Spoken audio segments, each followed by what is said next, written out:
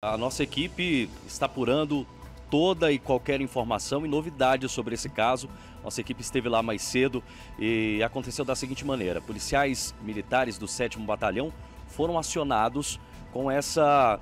Uma pessoa passou ali do lado, ali próximo à roda ferroviária, perto ali do viaduto Ayrton Senna, às margens da Épia, e sentiu um mau cheiro. Né? E essa pessoa conseguiu olhar ali meio de.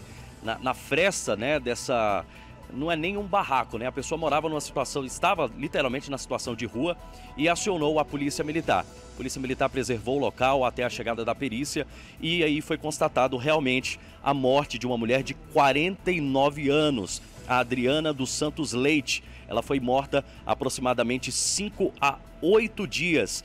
E olha só, Brunoso, ela tem sinais de estrangulamento. Uh, a gente acompanhou todo o trabalho ali da perícia ela estava com as calças arriadas no momento que a gente estava ali, o que há a suspeita dela ter sido abusada antes de morrer. Ainda não se confirmou todos os detalhes e novidades. Nós teremos logo mais a qualquer momento, inclusive eu posso voltar aqui na programação, eh, aqui no Def Alerta ou no Jornal Local, trazendo novidades sobre esse caso. Mas está aí, uma mulher de 49 anos, ela já estava em estágio, em estágio avançado de decomposição, já escura, inchada, com um odor muito forte, muito forte mesmo. Nossa equipe teve até uma certa dificuldade de fazer esses registros aí e a perícia ainda está lá no local, isso é lá no Cruzeiro Velho, nas margens da EPE, a próxima roda ferroviária e aconteceu há cerca de 5 a 8 dias. Como eu disse, um transeunte estava ali no local, passou pelas proximidades, acionou a polícia militar, achou estranho